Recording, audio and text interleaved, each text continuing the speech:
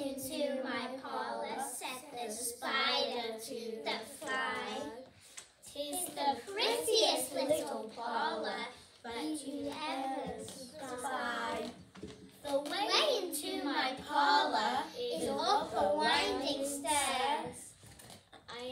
And I have many curious things to show you when you are there. Oh no, no, no, said the fly. To ask me is in vain. For who Goes up your winding stairs will never come down again. I'm sure you must be weary, dear, with soaring up so high. Will you rest upon my little bed? said the spider to the fly. There are pretty curtains drawn around, the sheets are fine and thin. And if you like to rest a while, I'll snugly tuck you in. Oh no, no, said the little fly, for I often heard that said that they never, never wake again who sleep upon your bed. Said the cunning spider to the fly. Dear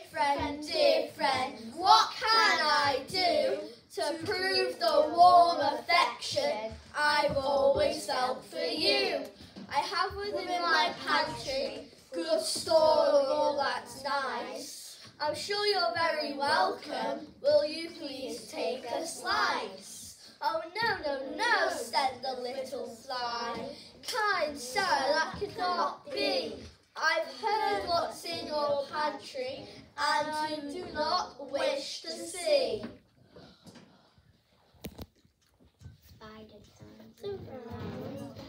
Went to his den. For well he knew his silly fly would soon come the slide, table ready to dine upon the fly. And then he came out his door and merrily did sing. Come, hither, hither, pretty fly with the, pearl and silver wings. Your robes are green and purple a upon your head. Your eyes are like diamond bright, but mine are as dull as lead.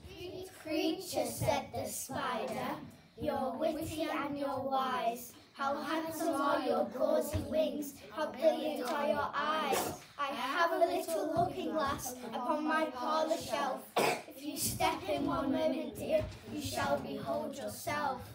I thank you, gentle sir, for what you please to say. I'm bidding you good morning now, I shall call another day.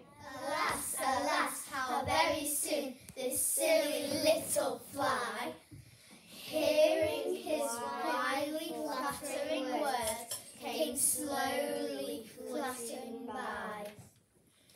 With buzzing wings she hung aloft, thinking only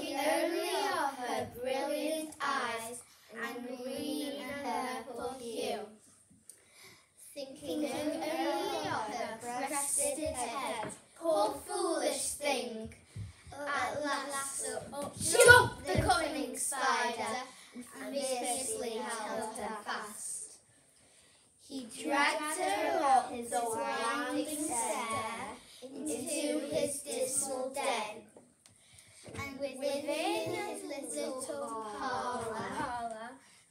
He, he, but he, he never came out again. And now, dear little children, may this story read to idle, silly, flattering words, I pray you near heed. Until an evil counselor